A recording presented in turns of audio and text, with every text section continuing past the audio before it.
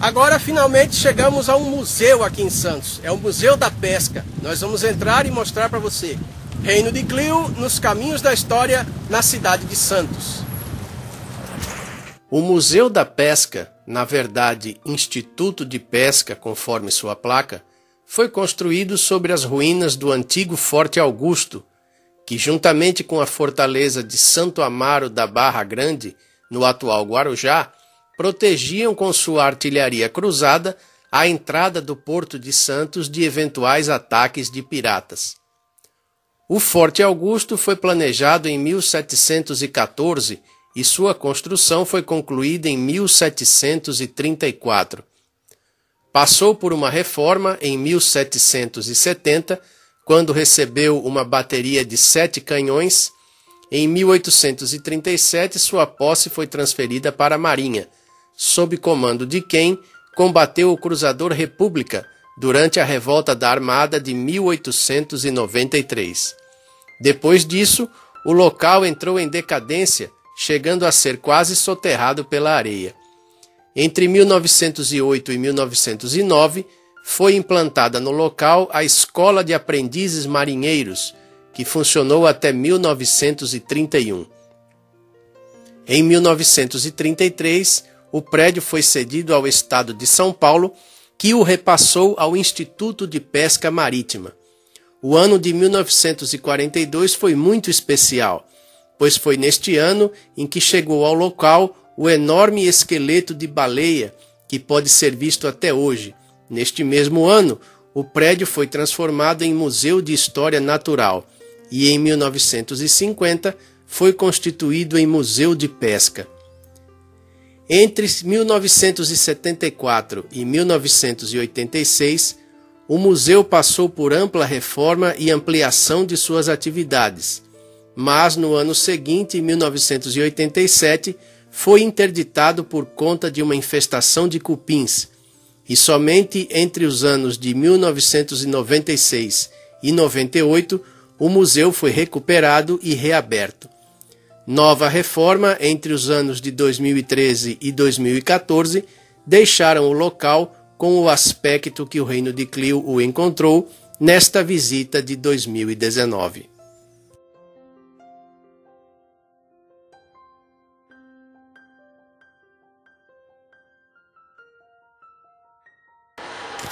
Aqui, logo na primeira sala de visitação do museu, nós vemos diversos exemplares de tubarão verdadeiros é, conservados no processo de taxidermização, que é o popular empalhamento. Mas é uma técnica bem é, complexa de conservação dos animais.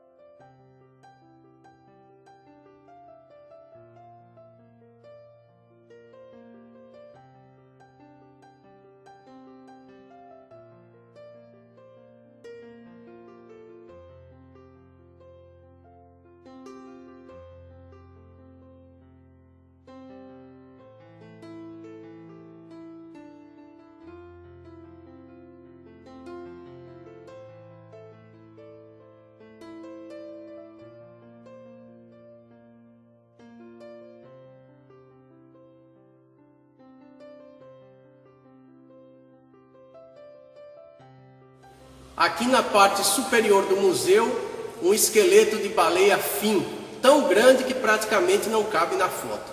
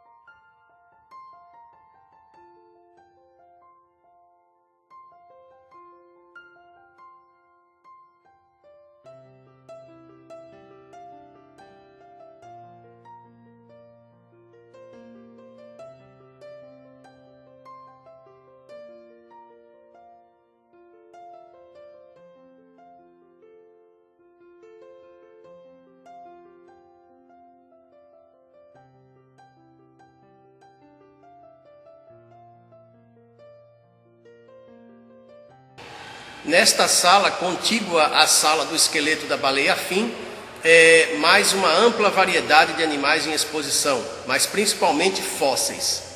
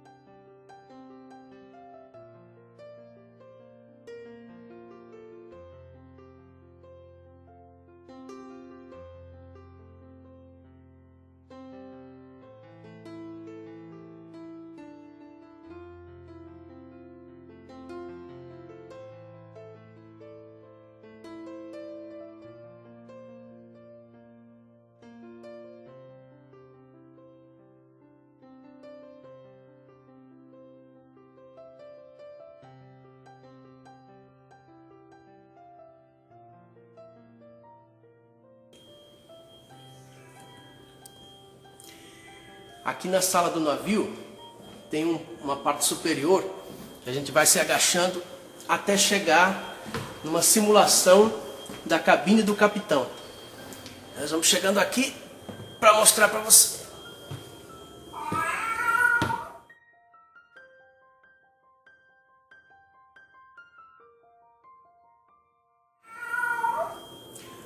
O curioso é que aqui a gente pode ouvir um miado. A gente pensa que é um miado fantasmagórico. Segundo dizem aqui no museu, aqui ficava um capitão e o capitão tinha um gato.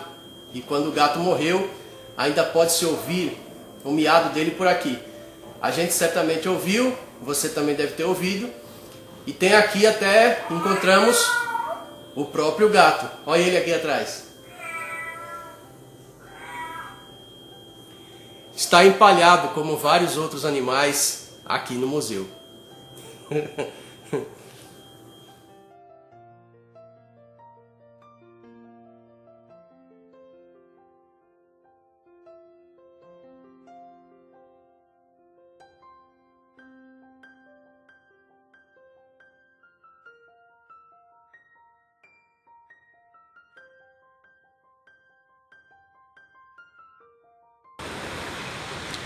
Se você gostou do vídeo, dê um like, inscreva-se no nosso canal e ative a sinetinha para receber avisos quando outros vídeos estiverem no ar.